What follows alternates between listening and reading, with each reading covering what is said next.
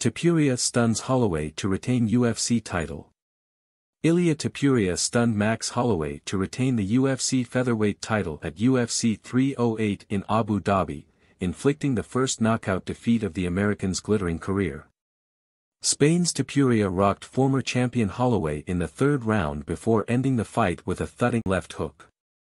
Topuria's win follows his knockout of Alexander Volkanovski in February, cementing the 27-year-old as the man of the moment and the future of the division. To beat a legend like Max Holloway, I can't believe it you know, he inspired me so much in my career, said Topuria. He's been a great example for the generation. I represent the new generation. Topuria was making the first defense of his belt after shocking Volkanovski eight months ago, ending the Australian's four-year title reign. It has been a rapid rise for Topuria in the UFC, finishing five of seven opponents since his 2020 debut before this contest, but in Holloway he was facing one of the most decorated athletes in UFC history.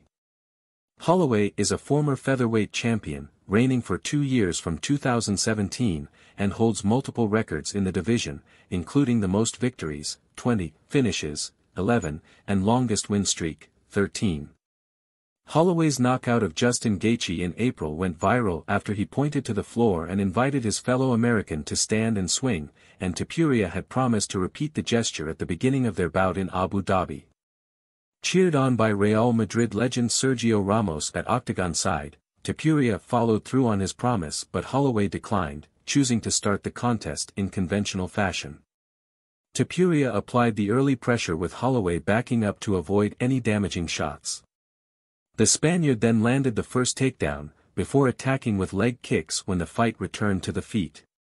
Holloway responded as he settled into his range, landing jabs and quick left-right combinations to keep Topuria at bay.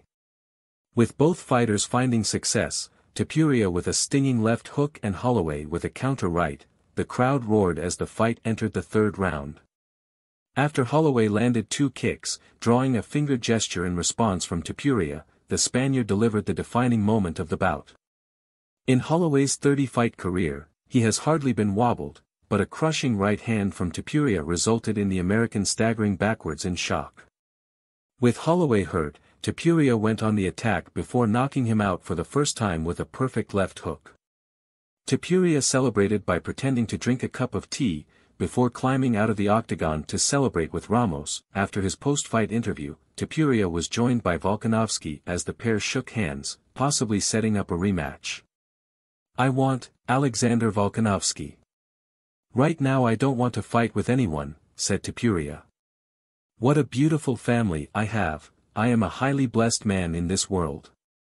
I want to go out of this cage and celebrate with my people. In the co-main event, Russia's Khamzat Chimaev extended the unbeaten start to his career to 14 fights as he dominated Robert Whitaker to submit him in the first round. Chimaev took former middleweight champion Whitaker down at the first attempt, before relentlessly working towards a rear naked choke.